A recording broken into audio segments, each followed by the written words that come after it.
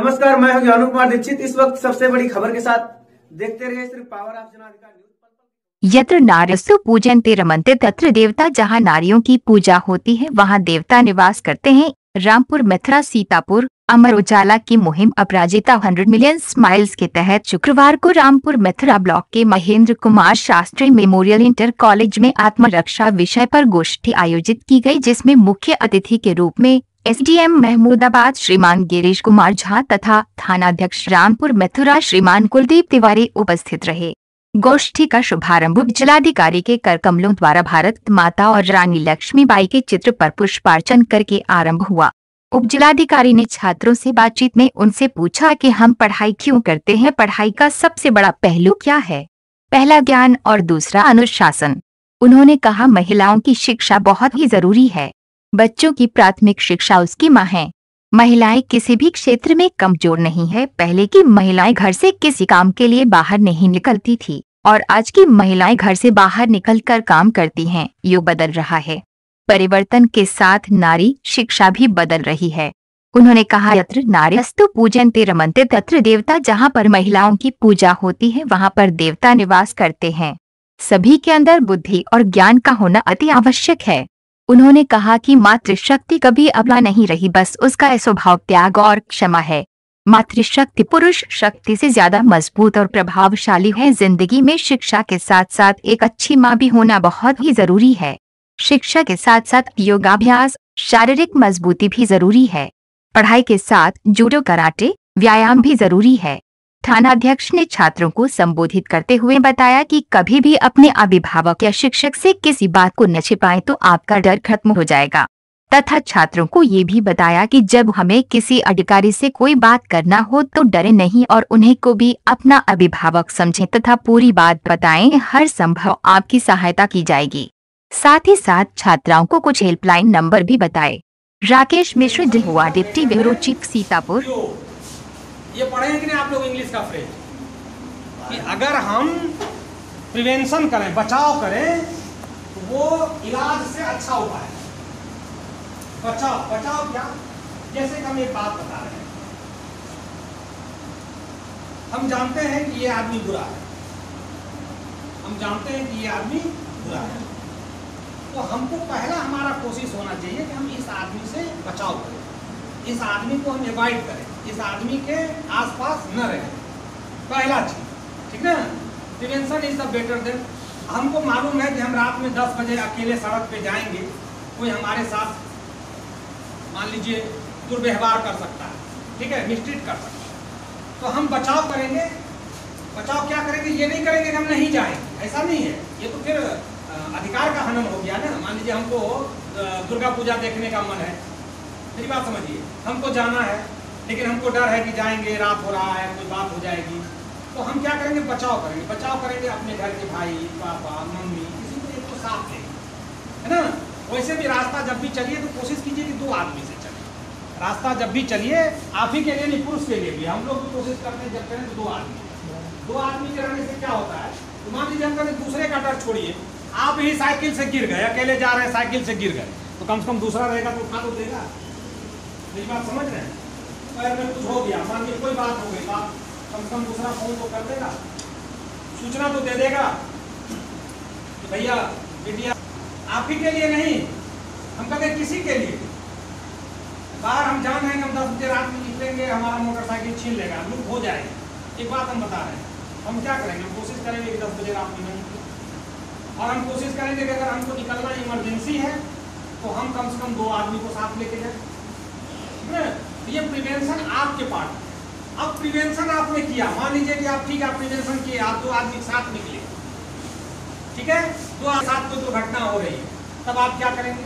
तब आप उस सरकारी संस्थान को और सामाजिक संस्थान आप उन लोगों को, जो आपके निकट है, चाहे वो प्राइवेट हो और चाहे वो पब्लिक सरकारी हो, चाहे निजी हो। जैसे आप अगर आसपास में लोग हैं तो आप मोबाइल के ज़रिए जो है फ़ोन से सौ नंबर डायल करके बताएँगे, दस सौ नब्बे नंबर डायल करके बताएँगे, ठीक ना? ये दूसरा तरीका हुआ। लेकिन प्रिवेंशन पहला चीज़ है जो चोरी करते हैं, डकैती करते हैं, ऐसी पढ़ाई का कोई मतलब उसमें पढ़ाई नहीं। अक्षरों को पढ़ना पढ़ाई नहीं है। समझ रहे हो कि नहीं? ये एक माध्यम है। ये माध्यम है हमको ज्ञान से रूबरू कराने का। आप लोगों को मालूम होगा कि बहुत दिन तक जब लिपि का आविष्कार नहीं हुआ था, जब स्क्रिप्ट नहीं बनी थी, जब लिपि, स्क्रिप्ट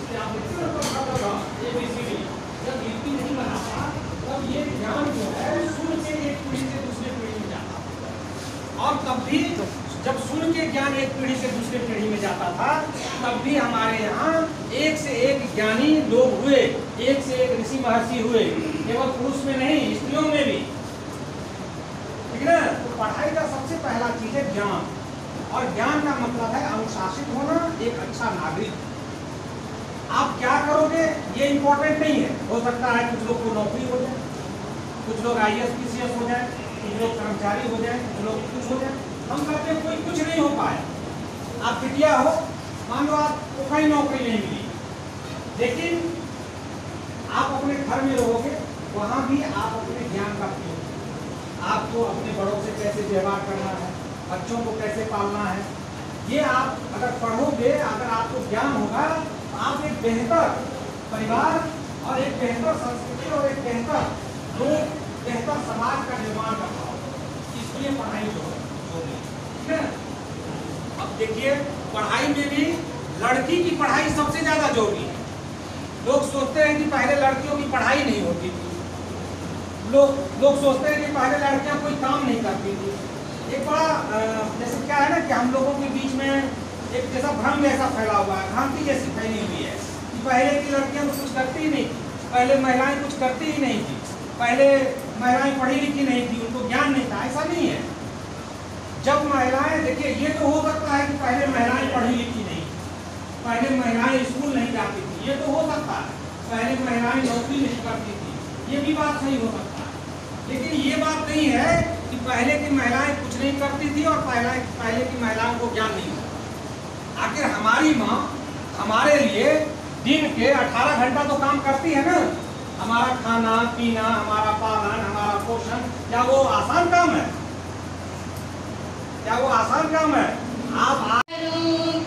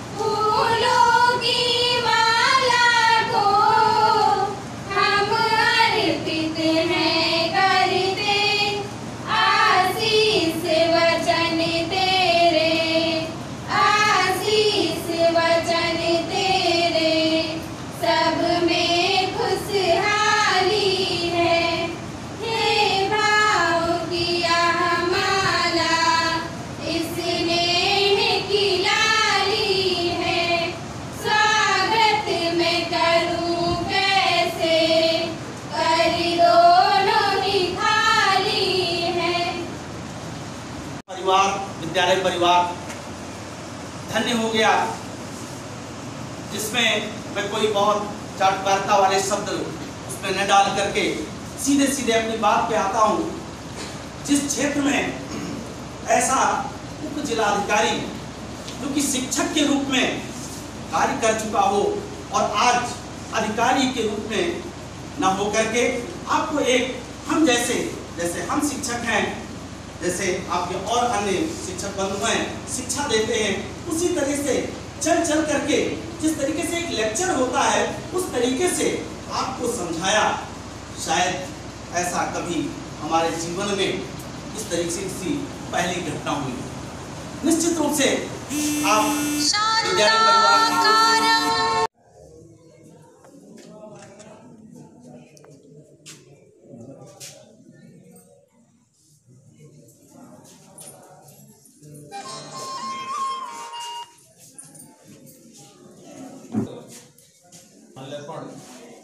मानते हैं। हमारे ग्रंथों में लिखा गया है रत्नाकरा धोताम हिमालय किरीट नीम ब्रह्म राजर्षि रत्नाढ्यम वंदे भारत मातरम। हमारी जिसके सागर चरण धो रहा है। साधन है। ऐसी भारत माता के प्रति हमारी कृतज्ञता। होनी चाहिए।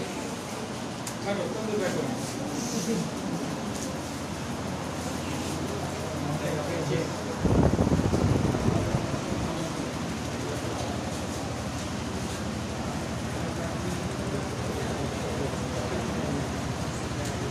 लगता है, लौटने में। तो फिर डर जैसा कहाँ लगता है? किस तरह का डर आप लोगों को लगता है? आप लोग बताइए तो हम उसका हल बताएँ। देखिए, एक चीज़ हम कहेंगे मोटी मोटी बात दो तीन चीज़ आपको